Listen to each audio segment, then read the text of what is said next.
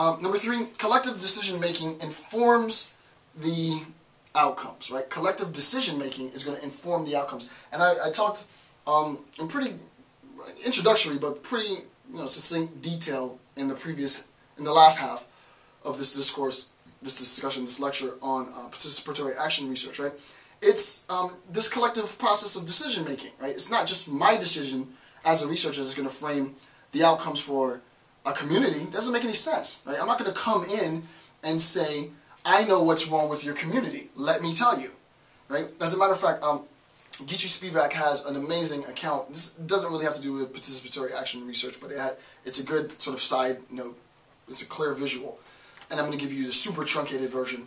So um, Spivak writes seminal text, a seminal article called Can the Subaltern Speak? I'm not going to give you the answer to that, whether they can or can't. And basically, um, because of white man's burden, almost everything that we're talking about now, uh, Europeans go into India, and in, in India they have the practice of sati, S-A-T-I, it's widow sacrifice. The widow throws herself on the funeral pyre of her husband.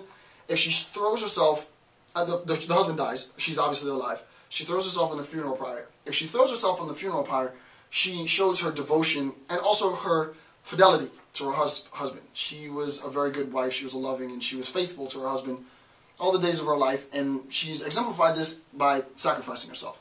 If she refuses to throw herself on the funeral pyre of her husband, then she's castigated, she's, uh, it serves as a representation of her infidelity, and so on and so on. And you can imagine all of the feminist critique that go uh, and underpin all of this sort of narrative. In addition to that, however, what ends up happening is that colonialists come in and they say, oh my goodness, look at all you brown people, you guys are savages, you guys are heathen, we're going to outlaw this practice. This practice is no longer appropriate, right, in a civilized world. This is savagery.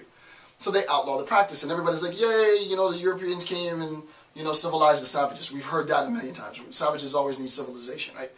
So the, the, the, the savages are civilized, and, you know, it's neither here nor there. Spivak asks a very, very interesting question. Did anybody ask the women?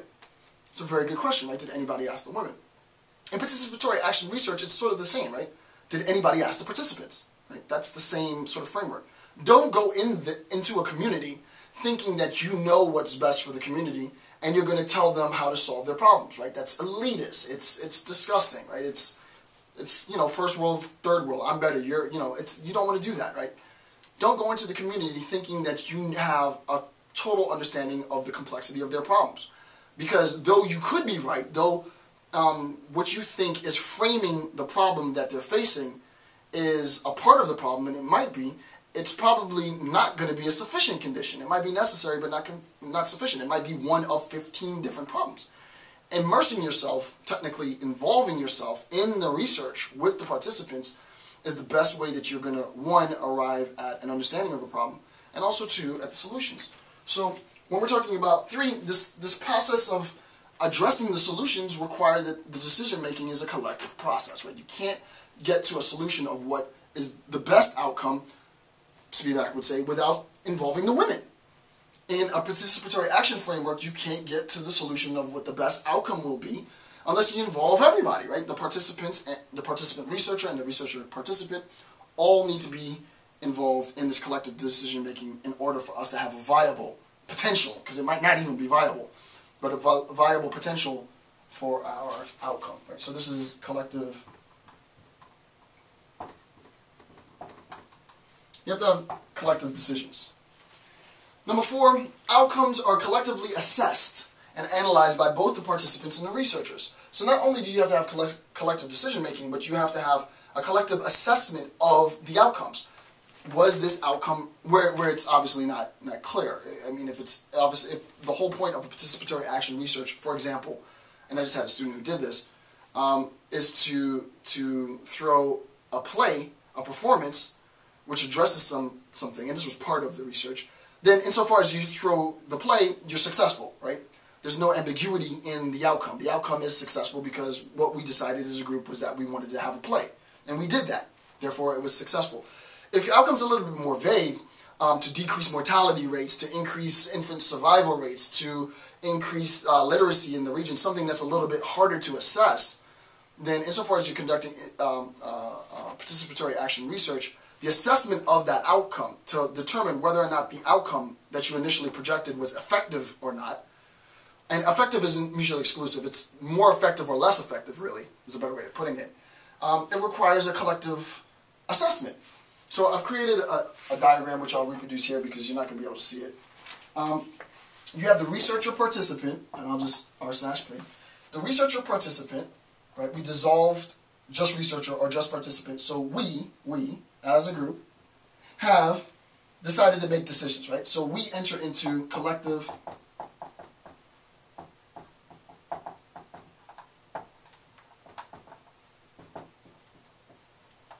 Right? So we enter into a collective decision-making process.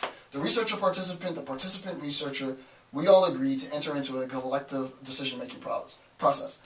We enter into this process, we identify, and there's many steps in there.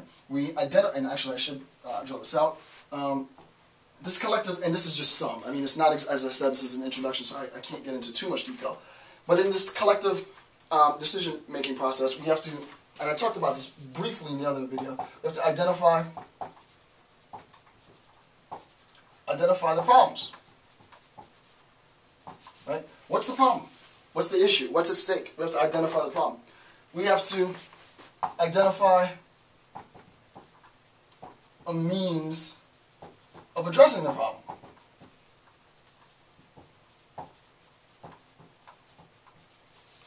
So we have to identify the problem, we have to identify a means of addressing the problem.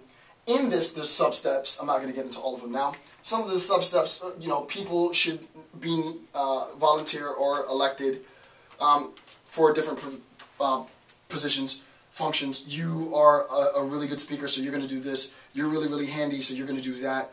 You have political connects, so you're going to do that, and so on, right? So there's a lot of different means. It's a very loaded term, right? Uh, identify means of addressing the problem. I've identified the problem. I've identified a means of addressing the problem, I'm going to execute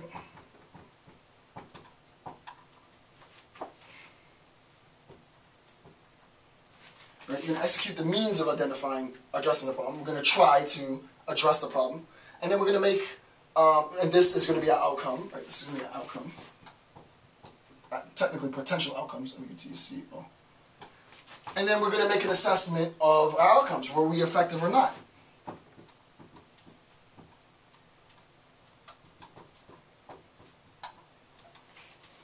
And then I'm going to see whether or not what we said we wanted to do, we did, and whether it was effective or not.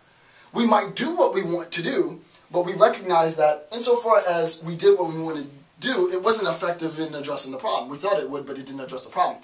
We did, we were successful in arriving at the outcome, but the outcome never really has, um, uh, addressed the problem. So you go back to the drawing board, right? That sort of technical, that technical term for going back to the drawing board, as we now know, it's um, collective reflection, right? So you go back into a process of collective reflection, into a process of critical dialogue to reassess the problem and, and you know, post another, post another um, uh, solution.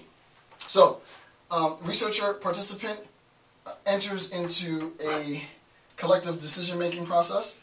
Um, we are going to we're going to posit outcomes, P-O-S-I-T. We're going to sort of create outcomes. We're going to state what our outcomes should be after we have our outcomes, we're going to collectively